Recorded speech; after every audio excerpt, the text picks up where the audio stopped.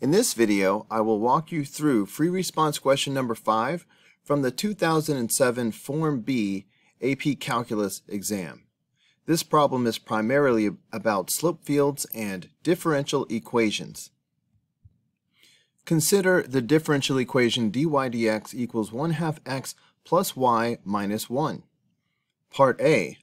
On the axes provided, sketch a slope field for the given differential equation at the nine points indicated. The equation for dy dx will give us the slope at any point. So at the point negative 1 comma 2, we have 1 half times negative 1 plus 2 minus 1.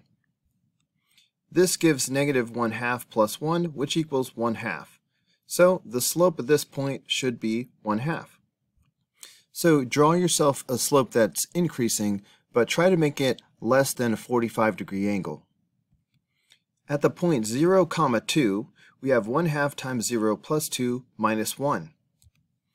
This equals 0 plus 1, which equals 1. So let's draw a slope of 1, 45 degree angle. At the point 1 comma 2, we have 1 half times 1 plus 2 minus 1. This equals 1 half plus 1, which equals 1.5. So, increasing slope, try to make it a little bit steeper than a 45 degree angle. At the point negative 1 comma 1, we have 1 half times negative 1 plus 1 minus 1. This is negative 1 half plus 0, which equals negative 1 half. So decreasing slope, but not as steep as a 45 degree angle. At the point 0 comma 1, we have 1 half times 0 plus 1 minus 1. That's 0, so draw your slope as a horizontal line. At the point 1 comma 1, we have 1 half times 1 plus 1 minus 1. This equals 1 half, so increasing but less than 45 degrees. At negative 1 comma 0, we have 1 half times negative 1 plus 0 minus 1.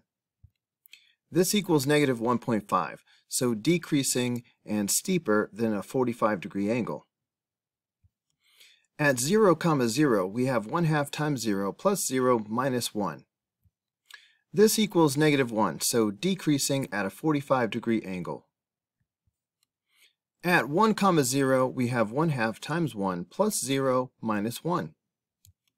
This is negative 1 half, so decreasing, but not as steep as a 45 degree angle.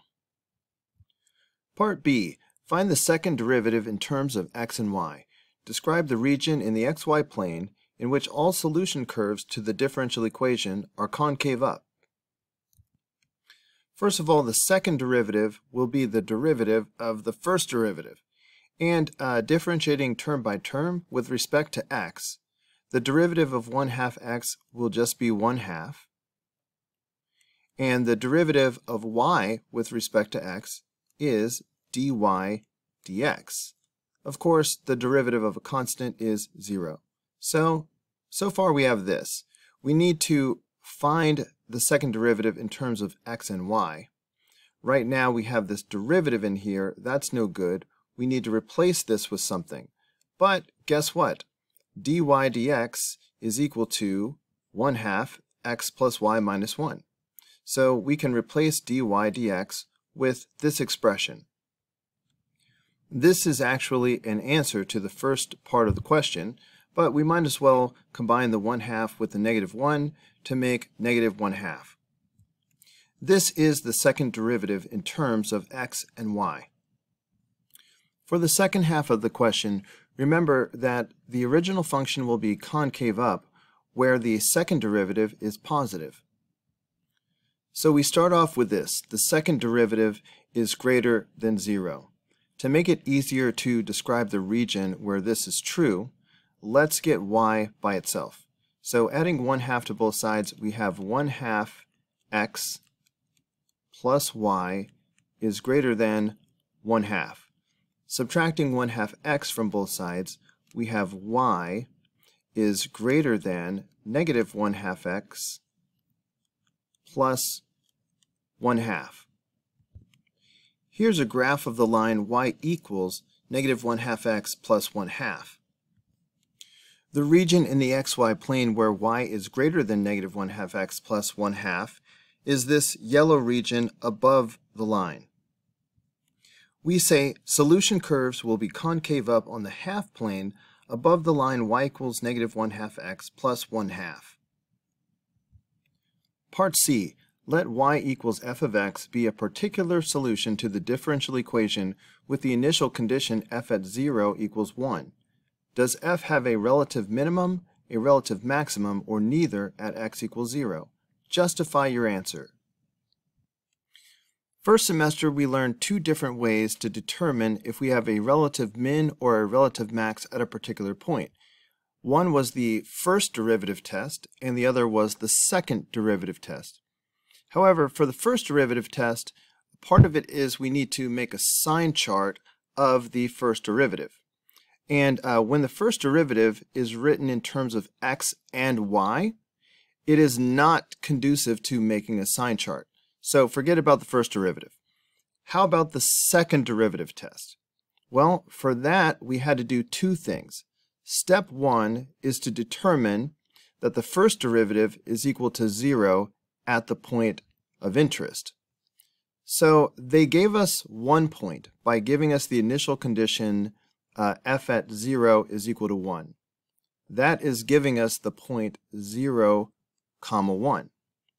So let's determine whether the second derivative at the point 0 comma 1 is equal to 0. That's the first half of the second derivative test. So we have 1 half times 0 plus 1 minus 1. At a glance, we can see that this is, in fact, equal to 0. So that's the first half of the second derivative test. The other thing we have to do is evaluate the second derivative and see if it's positive or negative.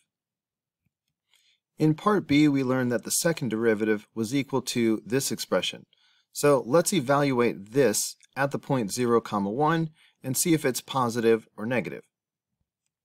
Evaluating the second derivative at the point 0, comma 1 gives us 1 half, which is positive.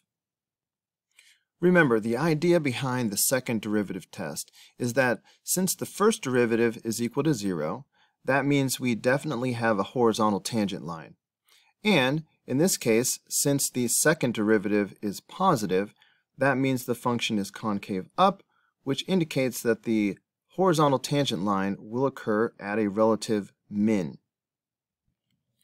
We say f has a relative minimum at 0, comma 1 because the first derivative equals 0 and the second derivative is positive at 0 comma 1. Notice that for the second derivative test you must include both of these things. Not only will you say that the second derivative is either positive or negative, but you must mention that the first derivative is equal to 0. Part D.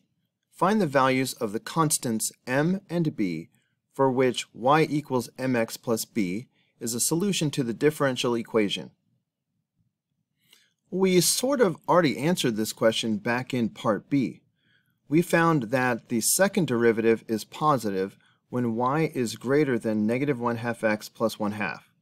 That led us to the conclusion that solution curves will be concave up on the half plane above the line y equals negative 1 half x plus 1 half, and similarly, solution curves would be concave down in the half plane below this line.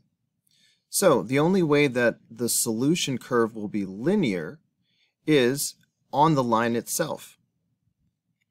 Clearly, y equals mx plus b is a linear solution to the differential equation. The solution to a differential equation is the original function. And the original function will only be linear if the second derivative is equal to 0.